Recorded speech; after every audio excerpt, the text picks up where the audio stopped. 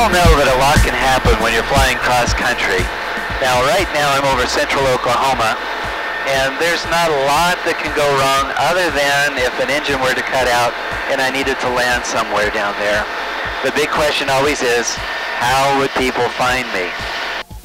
One nice piece of equipment in this aircraft, the way it's configured in Hope 1, is a Spidertracks satellite tracking system. And let me show that to you here. It's a little piece of equipment that's sitting on top of the instrument panel. We've got this right in front of the co-pilot seat. That's plugged into the auxiliary power jack. And then right in front of me are the controls for it.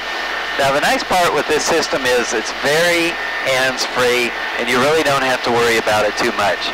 As soon as I turn on the avionics switch, it sends a signal up and begins tracking the location of this aircraft. Now we've got this set up so it tracks the aircraft every two minutes. Let's say that I did have to go down in one of those fields down there. Anyone looking at that website would know within two minutes what direction this aircraft was at, how fast it was flying, what altitude it was flying at.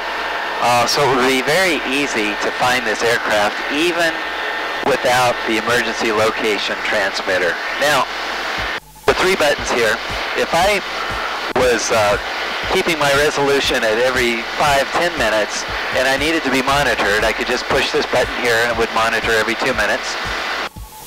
If I was going to stay in, a, in the same area and circle for a while, such as in a crop dusting operation or anything, which obviously I'm not going to be doing that, I would hit radius. And then this button here will uh, trigger preset remarks that I put into the system. For instance, when I'm a half hour away, I could push this button twice and it will send an email out to those people that I designated to know that uh, we are a half hour out. Likewise, once I've landed safely, I push the button once and it sends that same email out to the same people saying that I've landed safely.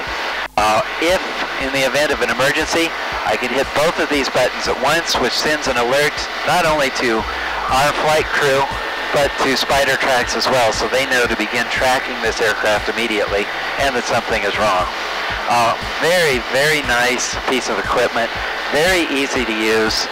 Um, a lot of people say that they're good for fleet operations, but I tell you, from a peace of mind viewpoint, I highly, highly recommend having this in, in any aircraft.